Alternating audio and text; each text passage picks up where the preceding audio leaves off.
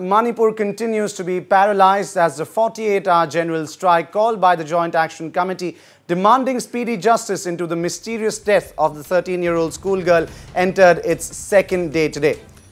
Much like yesterday, the valley districts of the state, including capital Imphal, continue to support the JAC with very little activity seen taking place around the state.